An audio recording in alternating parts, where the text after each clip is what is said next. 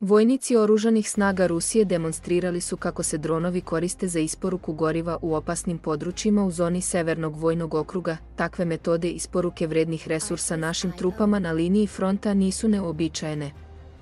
Slanje tereta kopnenom opremom u pravcu Harkova može biti veoma opasno. Dron može da ponese do 50 kg. Ovo je neophodno ovde na prvoj liniji fronta kako bi se brzo dopremilo gorivo borcima.